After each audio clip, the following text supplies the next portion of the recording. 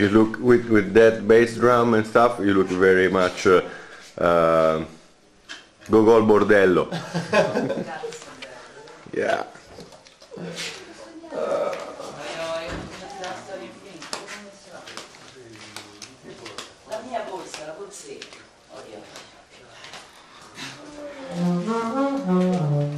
Ragazzi.